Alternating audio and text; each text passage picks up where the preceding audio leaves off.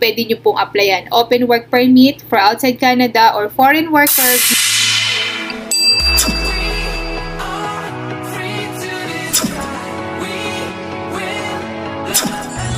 Hello everyone! Welcome and welcome back to my channel. At kung bago po kayo dito, hi! My name is Jane. Kamusta po kayo? Thank you for stopping by. For today's video guys, pag-usapan natin yung pag-apply po ng work permit dito sa Canada. Kasi marami pong mga nagme-message sa akin or nagko-comment din at nagtatanong kung paano nga po ba ang pag-apply ng work permit dito sa Canada. Gusto kong i-share sa inyo to guys kasi ginawa ko rin po yung process na to nung may expired na po yung work permit ko dito sa Canada.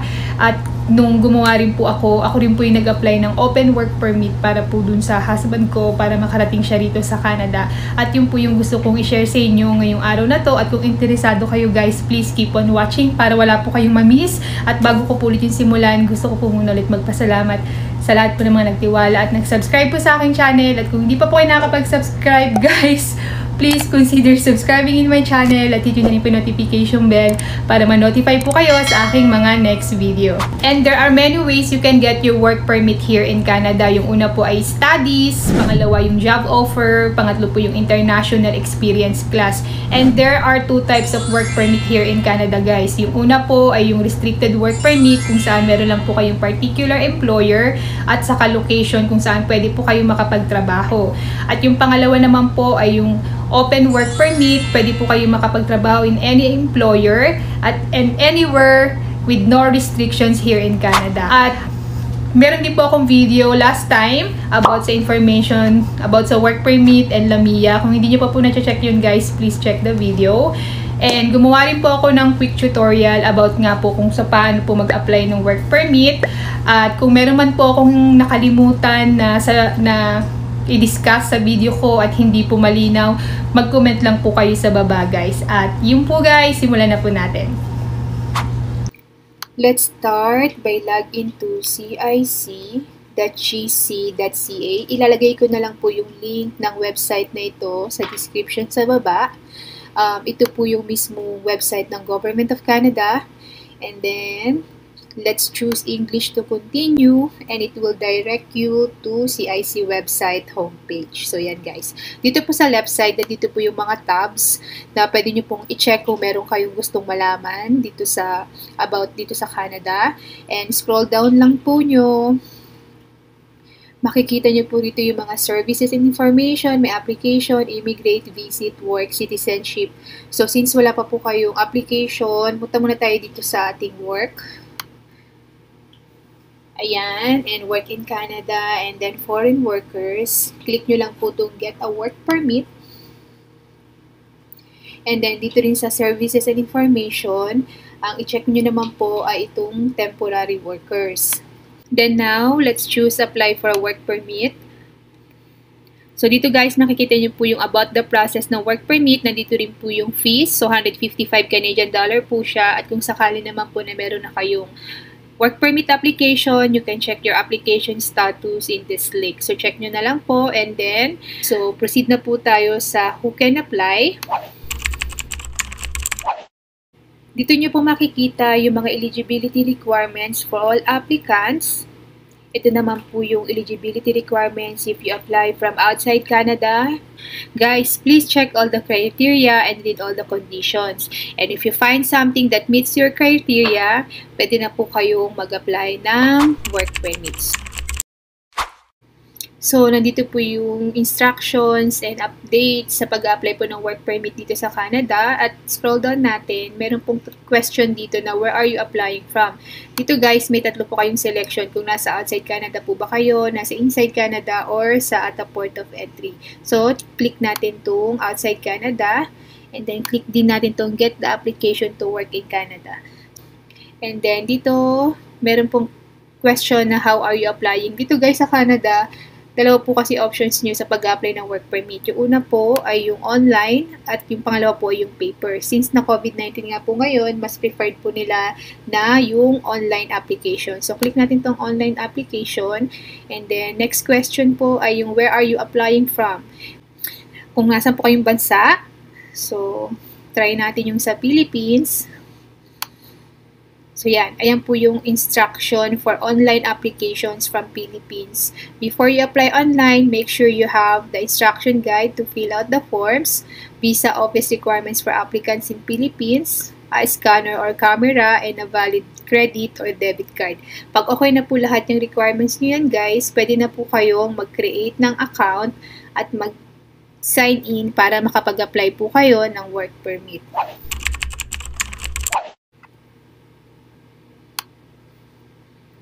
Yan, ito na po yung gagawa kayo ng inyong IRCC account. So, dito guys, may dalawang option. Yung una po ay yung GC key, tapos yung option 2 naman yung sign in with partner. So, since na bago lang po kayo guys at wala pa rin kayong online Canadian banking information, dito tayo sa option 1, sign in with GC key. And then, dito po sa right side, mag-sign up po kayo. So, basahin nyo lang po itong terms and condition of use. And then, pag okay na po kayo, click nyo lang po yung I accept and then mag-create na po kayo ng username. Dito sa right side guys, ito po yung kanyang checklist at nandito rin po yung kanyang privacy instruction. Kung sakali po guys na mag-rent lang kayo ng computer or manghirap lang po kayo ng laptop, kailangan po na i-clear history nyo after nyo po gumawa ng account nyo para po secured po yung account nyo. Kasi dito nyo po lahat ma malalaman yung inyong status sa pag-apply ng work permit. So, kailangan nyo po talaga i-secure yung inyong account. So, ngayon, create na po tayo ng username. Sample MJ test. Ting. Yan. So, pwede na siya. Nag na siya lahat. Then, continue. And then, create po tayo ng password. Same lang po ng username. Meron po siya ditong password checklist. So, create tayo ng password. And then, continue. Tapos, meron po kayong mga sasagutan din ng mga recovery questions, answers, and hints. So, gawa lang po kayo guys. So, ayan guys, meron na po tayong GCKey account. So, continue lang natin. So, ayan, meron din pong terms and conditions dito. Pag nabasa, nabasa nyo na po siya, at okay na po kayo, accept lang po. Once na nakapag-create na po kayo ng inyong account, pwede na po kayo mag-start ng inyong application. Scroll down nyo lang po and then select nyo lang po itong apply to come to Canada at ito, at ito po yung inyong personal checklist. Kung meron po kayong personal reference code, ilalagay nyo lang po siya dito. Since wala pa po, at uh, dito muna tayo sa I do not have a personal reference code. Meron lang po kayong kailangang sagutan ng mga series of questions para po malaman kung eligible po ba kayo talaga mag-apply ng visa or ng work permit dito sa Canada. Scroll down nyo lang and then select nyo itong visitor visa, study and or work permit. So, ito po yung mga questions na kailangan yung sagutan. So, halimbawa po, ito yung una, what would you like to do in Canada? Let's say, work. And then yung second po, how long are you planning to stay in Canada? Let's say temporarily more than 6 months. And then select the code that matches the one on your passport. Kung ano po ba yung inyong passport. So let's say Philippine passport. So yan. And then kung nasan po kayong bansa ngayon, what is your current country? Let's say Philippines ulit. And then, kung meron po ba kayong kakilala na family member nyo dito sa Canada na Canadian citizen na or permanent resident. At kung wala naman po, select no. And then, what is your date of birth? And then, select next lang po natin. And then, may question din dito, are you a local permanent resident in the United States? So, select natin to, I know. And then, may question dito kung meron po kayong job offer na galing po sa employer. So, try natin yung yes. And then, what is the status of your job offer? Let's say, temporary at least one year. And then, next lang po. Basahin nyo lang po mabuti. Baka meron pong applicable sa inyo dito sa mga questions na to. At kung wala naman po, iselect natin dito I know. And then, ang next question, will you be coming to Canada under an active public policy or special measure announced by IRCC? Um, select naman po natin, I know. And then, dito, are you a spouse, common law partner, or, independent, or dependent child of a person who has or is applying for a work permit for a job in National Occupation Classification O, A, and B? Yung next ay study permit and is a full-time student at a university, community college, or other authorized educational institution. Ang applicable sa akin dito ay work permit for a job in national occupation. So, select po natin ay yes. And then, have you recently graduated from a participating Canadian post-secondary institution? Select po natin ay dyan no. And then, select natin dito ay next. Then, ang next question po, what is your marital status?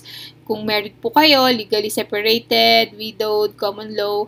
So, akin ay married. And then, what is your provincial destination? Kung saan po kayo mapupunta dito sa Canada. Let's say, dito po sa amin sa Saskatchewan. And next po natin, So, ayan po yung result. Based on the information you provided, the results below indicate whether you may be eligible to come to Canada. So, ito po yung pwede nyo pong applyan. Open work permit for outside Canada or foreign worker, kailangan nyo po ng visitor's visa. So, i-click natin tong sa open work permit for outside Canada, continue. And then, next po, basahin nyo lang po to. You're almost there. Meron, click natin tong continue. And then, find out if you're eligible to apply. What type of work permit do you want to apply for? So, since with Willamia po kayo, let's choose din tong a work permit with the labor market impact assessment. Then next, may question dito, did Employment and Social Development Canada issue your employer's labor market impact assessment? Select po natin ay no. Does your labor market impact assessment indicate that you must become a member of professional association in Canada? So, para sa akin, no. Then, next po natin, are you accompanying a family member that has status in Canada or has recently been approved to come to Canada? Kung wala naman po, select natin ay no. Have you ever committed been arrested for, been charged with, or convicted of any criminal offense in any country? Select po natin I know. And then, have you had the medical exam performed by IRCC authorized panel physician, doctor within the last 12 months? Ayun po yung medical exam nyo. So, select po natin ay yes. Do you want to submit an application for a family member? Kung meron po kayong family member na kasama, yes. And then, kung wala naman po, no. So, sa akin, no. And then, find out if, if you're eligible to apply. Are you giving someone access to your application? Kung meron po kayong representative na gumagawa po ng application nyo, kailangan nyo po itong i-click na yes. At kung wala naman po, select natin itong no. Next question, in the past 10 years, have you, have you given your fingerprints and photo biometrics when application to Canada? Yes. Kasi kailangan nyo po talaga ng biometrics. And then, there are fees associated with this application. Will you be paying your fees or are you fee exempt? Kung kayo po yung magbabayad, so select natin yung yes, I will be paying my application fees. And then, are you able to make a digital copy of your documents with a scanner or camera? Yes, kailangan po yon. Will you be paying your application fees online? So, kailangan nyo po talaga na meron po kayong Visa, debit, or debit MasterCard, or Interact. Kailangan po talaga dito guys, kasi dito kayo magbabayad. So, yes. So, review your answer. I-double check nyo guys ha. Kailangan talaga na tama po yung mga sagot nyo para hindi kayo magka-problema sa inyo pong application. Then, continue na po natin dito pag okay na po yung sagot nyo. So, ito na po yung mga dapat nyo pong isubmit sa application nyo. So, yan. Scroll, basahin nyo na lang pong mabuti. At scroll down natin. So, i-continue lang natin dito. Ito na po yung inyo pong mga document checklist guys na kailangan nyo pong i-upload dito. Dito nyo siya i-upload. At ito po yung mga supporting documents na kailangan nyo rin pong i-upload dito. At once na po na-complete nyo na pong lahat yan, pwede na po kayo magbayad. Ayan po yung fees for work permit. At ito naman po yung open work permit holder fee. So, 255 Canadian dollar. At yung mga documents na kakailanganin nyo po sa inyo pong pag apply ng inyong work permit ay yung una po ay yung inyong pong proof of identity or yung inyong pong valid passport. Kailangan rin po na meron kayong two photos of yourself kasama po yung family members nyo na kasama sa inyong pong work permit application. At ito po yung guide nyo po para sa inyong pong photograph. Um, ilalagay ko po yung link nito sa description sa baba para ma-print nyo po at maipakita sa kung, sa, kung saan po kayo magpapapicture sure.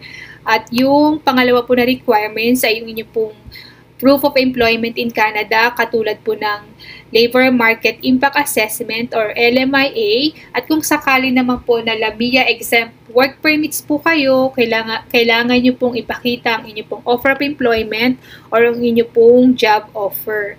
At yung pangatlo naman po ay yung inyo pong proof of relationship. Kung sakali po na pamilyado na kayo, kailangan po ng inyong marriage certificate at, at birth certificates po ng inyo pong um, pamilya o yung kasama po sa inyo pong work permit application.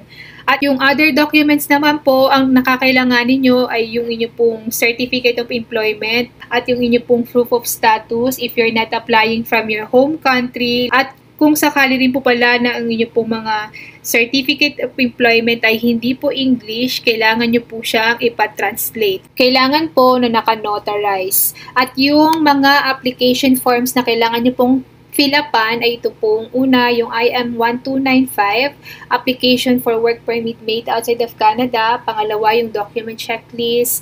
Um, yung pangatlo po, yung family information or yung IMM 5645 or yung IMM 5707.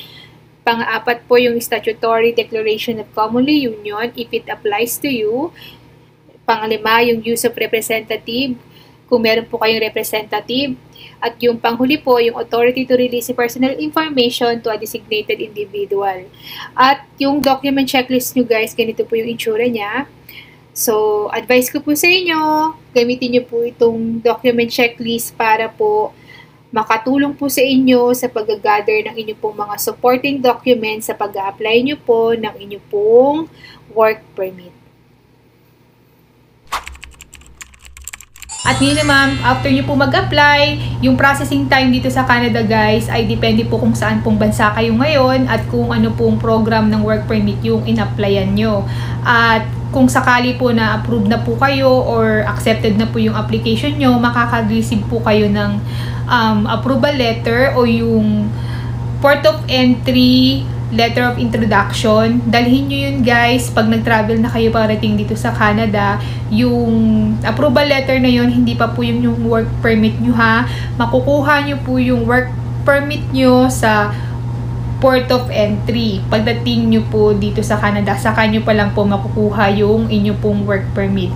At yung nasa work permit nyo po, doon nyo po makikita yung inyo pong pangalan po ng employer nyo, yung location kung saan po kayo magtatrabaho, yung length of um, pagtatrabaho nyo po rito o yung validity ng inyo pong work permit at kung ano po yung trabaho nyo dito sa Canada. So, yun po yung laman ng inyo pong work permit. So, Yon, that's it for today's video guys. Sana po nagustuhan nyo or na-appreciate nyo tong video ko na to ngayon. And if you do guys, please hit the like button. At kung meron nga po kayong tanong, feedbacks, or gusto rin pong itaka sa mga next video ko, feel free to comment. I want to connect with you in the comment section. And don't forget to subscribe in my channel at hit nyo rin po yung notification bell para ma-notify po kayo sa aking mga next video.